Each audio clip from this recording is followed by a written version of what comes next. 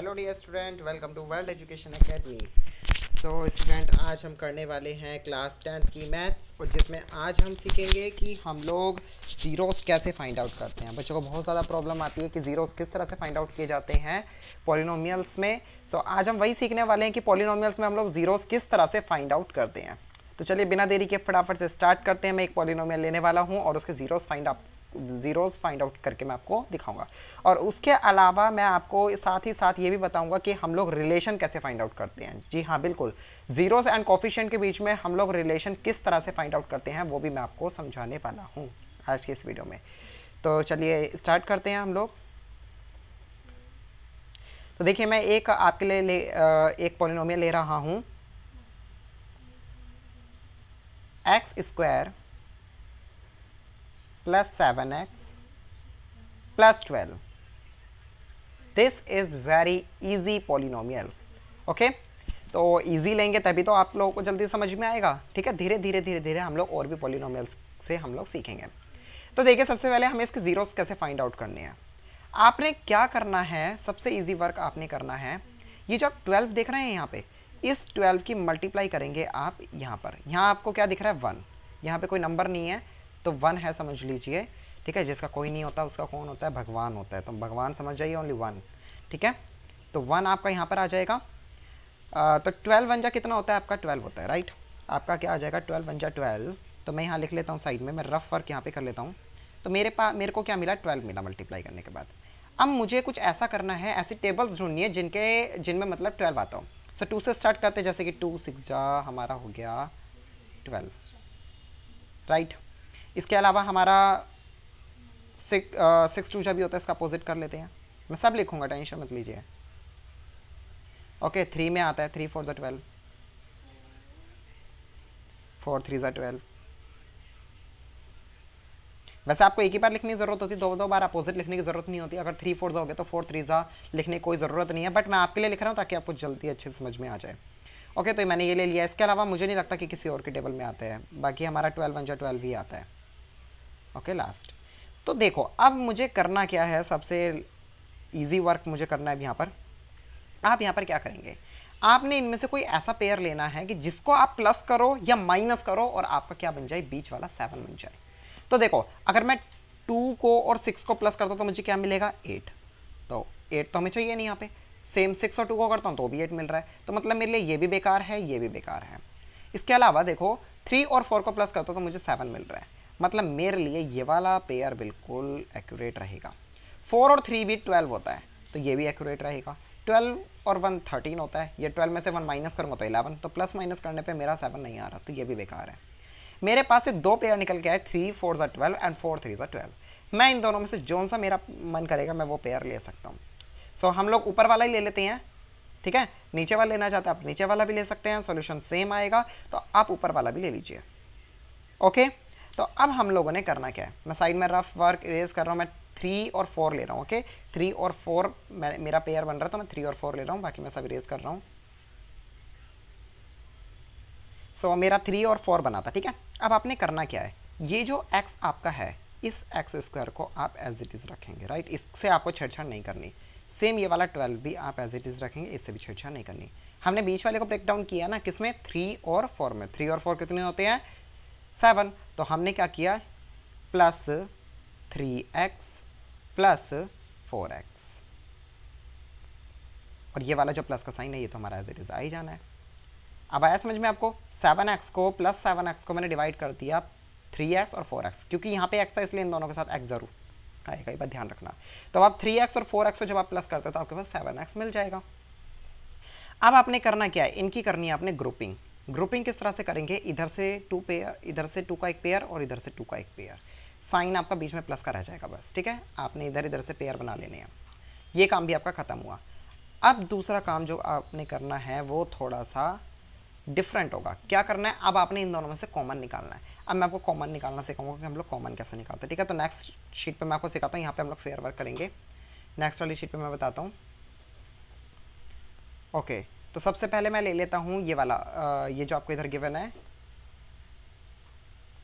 ये जो आपको गिवन है x square plus three x पहले मैं पूरा का पूरा ये उधर लिख लेता हूँ। इसमें से इन दोनों में से मुझे कॉमन निकालना है तो देखो कैसे निकालेंगे। X square plus three x यही था ना? इसका इसमें इन दोनों में से हमें कुछ कॉमन चाहिए। तो कॉमन कैसे निकालेंगे? ये जो एक्स स्क्वायर है पहले मैं ये देखता हूँ कि मैं इसको कैसे लिख सकता हूँ। आप इसको लिख सकते हैं x multiply x and three x को आप कैसे लिख सकते हैं? थ्री मल्टीप्लाई एक्स अब आप क्या देखेंगे कि दोनों में कुछ ना कुछ कॉमन आया। क्या कॉमन आया? यहाँ पे देखिए, दोनों में एक्स कॉमन आ रहा है। तो मैं क्या करूँगा? इस एक्स को लिख लूँगा बाहर। क्या करूँगा? इस एक्स को बाहर लिख लूँगा। तो देखो, मैं इस एक्स को एक बार बाहर लिख लूँगा। कि दोनों में कॉमन है तो एक ही बार लिखूँगा। अब देखो, इस एक्स स्क्वायर ये वाला जो एक्स स्क्वायर है ठीक है? इसके पास क्या बचा? ये जो एक्स स्क्वायर इसके पास क्या बचा? सिर्फ़ एक्स बचा। तो इस एक्स स्क्वायर की जगह मैं लिखूँगा ओनली एक्स प्लस में इस थ्री एक्स जगह पे क्या बचा? सिर्फ़ थ्री बचा ये वाला। तो मैं इसको क्या लिखूँगा? थ्री थ्री एक्स के पास सिर्फ़ थ्री बचा ना? एक्स हमने कॉमन ले लिया। तो एक्स नहीं आएगा, सिर्फ़ थ्री आएगा। ठीक है? तो यहाँ पे हमारा आ जाएगा थ्री तो ये हमारा हो गया x x plus three okay अब इसको एज इट इज़ उठा के मैं उधर अपनी आंसर शीट पे पुट कर देता हूँ डायरेक्ट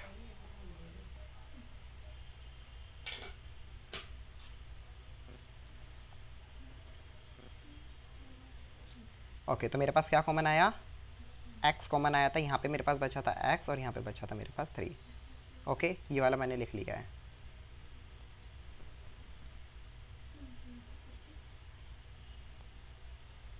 एक्स और यहाँ मेरे पास बचा x plus three okay same काम हमें यहाँ पर भी करना है। फोर एक्स प्लस ट्वेल्व में से कॉमन निकालना है तो इसके लिए भी हम लोग दूसरी शीट पर चलते हैं।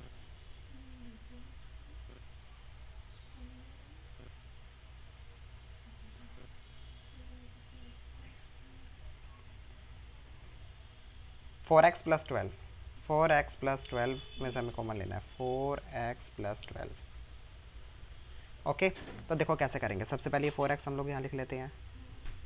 इजिकल टू ए ट्वेल्व हम लोग यहाँ लिख लेते हैं।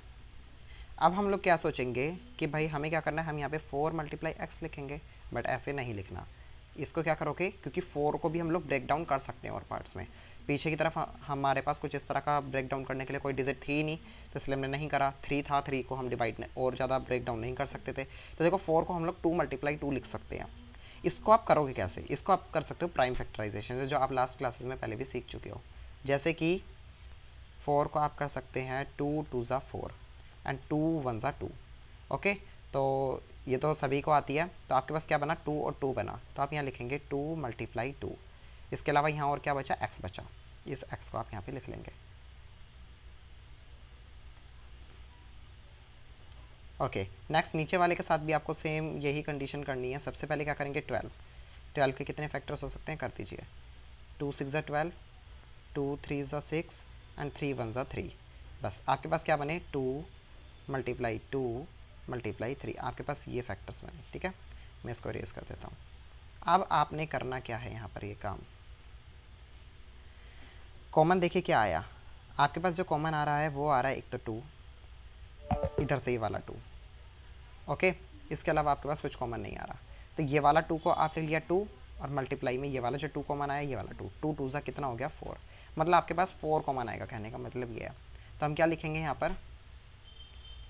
क्या कॉमन आ गया आपके पास यहाँ पर? फोर ठीक है? अब ये बताइए फोर एक्स है। फोर एक्स के पास क्या बचा? एक्स तो फोर एक्स के पास सिर्फ़ एक्स बचा तो मैं अंदर एक्स लिखूँगा। प्लस ट्वेल्व ट्वेल्व के पास क्या बचा? थ्री तो मैं अंदर थ्री लिखूँगा। ठीक है? ट्वेल्व के पास क्या बचा? सिर्फ़ थ्री बचा तो मैंने थ्री लिख दिया। फोर एक्स के पास क्या बचा था? सिर्फ़ एक्स बचा था।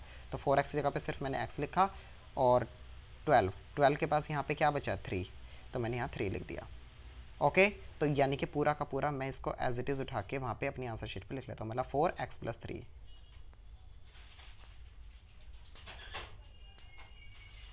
मेरे पास क्या आया? फोर एक्स प्लस थ्री अब आपको कैसे पता लगेगा कि आपने कॉमन ठीक लिया या नहीं लिया? तो आ, इसको चेक कर सकते हैं हम लोग कि आपकी इधर वाला और इधर वाला ब्रैकेट बिल्कुल सेम आना चाहिए। अगर सेम आ रहा है तो आपने कॉमन बिल्कुल ठीक लिया। मतलब एक्स प्लस थ्री और एक्स प्लस थ्री यहाँ दोनों तरफ़ कॉमन आ रहा है मतलब कि आपने बिल्कुल सही कंडीशन यहाँ पे फॉलो करी है, बिल्कुल सही रूल फॉलो किया है। नेक्स्ट अब आप आपने क्या करना है? अब आपके जीरोज बस फाइंड आउट होने ही वाले हैं, बहुत लास्ट स्टेप पर हम लोग पहुँच गए हैं। अब देखो, यहाँ पे ये वाला और ये वाला ब्रैकेट बिल्कुल सेम आएगा राइट अब आप क्या लिखोगे? यहाँ पे लिखोगे एक्स प्लस थ्री ओके एक बार इसको लिख लो, क्योंकि ये भी है, यहाँ पर भी और यहाँ पर भी। एक बार लिख लोगे, और जो बाहर है, बाहर क्या है? एक्स प्लस फोर इसको एक साथ लिख लो एक्स प्लस फोर ध्यान रहे कि जब ये लिखोगे तो बीच में कोई साइन नहीं रहेगा। कभी आप बीच में प्लस या माइनस का साइन यहाँ पर पुट कर दो तो यहाँ कोई साइन नहीं आएगा। ओके तो आपके पास एक्स प्लस थ्री और एक्स प्लस फोर आपके पास आ गया है।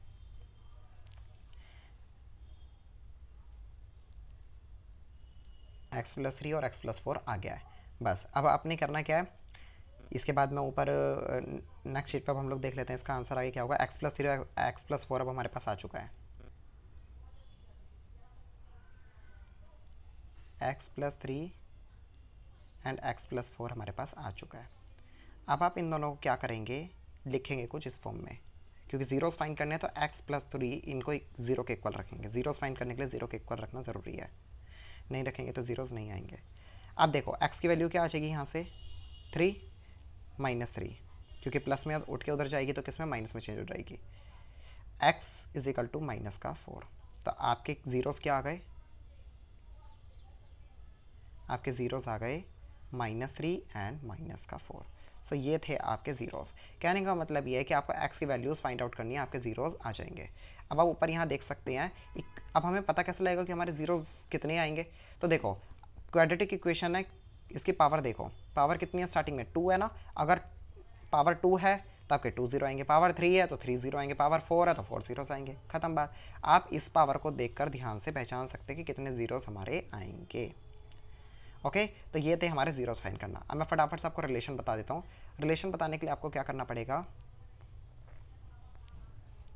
रिलेशन के लिए देखो, आपने करना क्या होता है? बहुत ईजी ईजी सा कंसेप्ट है। जो आपके पास जीरोज आए हैं ज़ीरो आपके पास क्या आए थे? फिर से देख लेते हैं। ज़ीरो आपके पास आए थे minus three and minus four तो पहले मैं जीरोज़ को यहाँ पे लिख लेता हूँ। माइनस थ्री एंड माइनस का फोर इन जीरोज़ का जब आप सम कर देते हैं और इनको एक बार मल्टीप्लाई एक बार सम करना होता है, एक बार मल्टीप्लाई करना होता है, आपका रिलेशन पता लग जाता है किसके बीच में कॉफिशियंट और जीरोज़ के बीच में। आपको क्या बताना होता है? रिलेशन बताना होता है। तो रिलेशन देखो कैसे बताते हैं। इसका फॉर्मूला ये आएगा alpha plus beta sorry alpha plus beta is equal to minus b upon a ये एक फॉर्मूला होता है सम का। तो आपने क्या निकालना है? सम ऑफ़ जीरोस आप ऊपर हेडिंग लिखेंगे सम ऑफ़